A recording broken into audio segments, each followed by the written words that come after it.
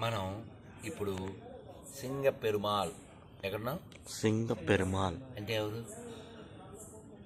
లోపల ఎవరున్నారు? సింగం అంటే ఏంటి? నరసింహ. సింహం అని. అక్కడేమో రంగ పెరుమాల్ ఇక్కడేమో సింగ పెరుమాల్ అవునా? భగవంతుడు వివిధ అవతారాలు ఎత్తుతాడు. ఒక్కొక్కసారి ఒక్కో భావంతో ఒక్క అవతారం.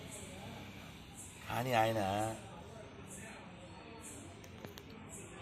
అల్టిమేట్ మూడేంటి భగవంతుడికి? ఇన్ని అవతారాలు ఇచ్చినా ఇన్ని గ్రంథాలు పంపించినా ఇంతమంది ఆచారాలు పంపించినా కేవలం మనమందరం ఆయన దగ్గరికి వెళ్ళాలి. ఈ కష్టాలు ఏం పడకూడదు. మనకి జన్మ ఉంది అంటే చావు ఉంది. చావు ఉందంటే ముసల్తనం ఉంది. ఈ మధ్యలో రోగం ఉంది. కాబట్టి వీటి నుంచి మనం బయటపడిపోవాలి. బయటపడిపోవాలంటే ఈ శరీరమే ఉండకూడదు. ఈ శరీరం ఎందుకు వచ్చింది పూర్వజన్మ కృత పాపం వ్యాధి రూపాన్ని పెడతాం. ఈ రోగం వచ్చిందంటే పూర్వజన్మ. ఈ శరీరం వచ్చిందంటే పూర్వకర్మ. అందువలన మనం అసలు ఏ కర్మ చేయకుండా ఉండలేం కాబట్టి ఏ కర్మ చేసినా అది భగవత్ సంబంధంగా చేయాలి. అప్పుడు మన జీవితం ప్రశాంతంగా ఉంటుంది. హిందీలో చెప్తారు కుచ్ మిల్నాసే రామ్. నై మిల్నాసే? ఆరామ్ అదేనా? మనం ఈ ప్రపంచాన్ని సమదృష్టితో చూడడం నేర్చుకోవాలి. అది మన ఇష్టమైన మన మనస్సు లోపల ఎన్నో పొంగు ఉంటుంది కుంగు ఉంటుంది అప్ అండ్ డౌన్స్ ఉంటాయి. వీటన్నిటి నుంచి మన మనస్సుని కంట్రోల్ చేయాలంటే మనకి చాలా గట్టి హృదయం కావాలి. ఈ గట్టి హృదయం ఎలా వస్తుందంటే ఇలా విష్ణు సహస్రనామం చదువుకోవడం భౌతిక చదువుకోవడం వినడము జపం చేయడము చేయాలి. భగవంతుడి దగ్గరికి వెళ్ళినప్పుడు ఏదో ఒకటి అడుగుతాం కదా? ఏమడిగావు నువ్వు ఇందాక?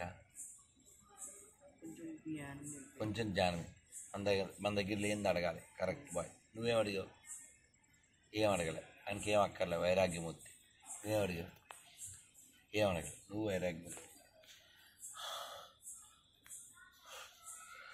నేను మాత్రం ఎక్కడికి వెళ్ళినా భగవంతుని ఏమడుగుతానంటే ఏ దేవాలయానికి వెళ్ళినా O lord please give me strength to please you స్వామి నిన్ను ఆనందపరిచే శక్తి నాకు.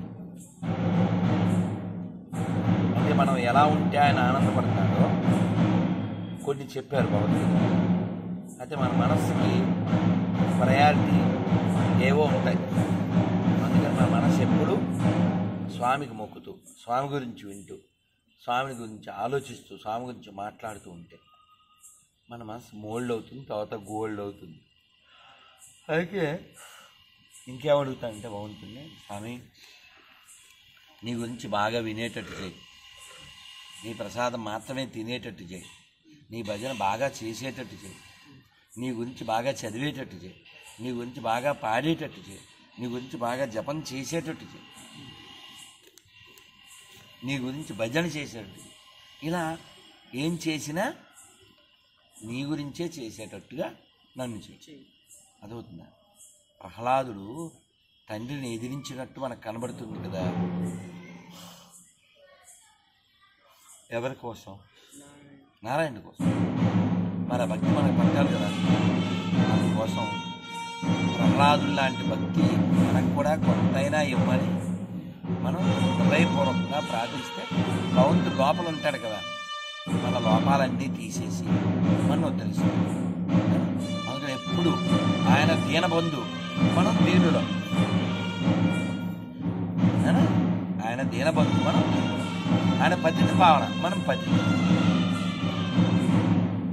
ఈ భావన మనకుంటే మనం ఎప్పటికీ చెడు. ఆనందంగా ఉంటాం కొన్ని రోజులు ప్రశాంతం ఇదే ఆఖరి రోజు. ఇవాళే మరణిస్తాం. అనుకుని జీవితం ఎన్నో ఆశలు పెట్టుకుని పంపించాడు ఈ లోకంలోకి. నేను అది కూడా అడుగుతాను. ఇప్పుడు కూడా స్వామికి స్వామి నువ్వు ఎందుకు పంపించావో?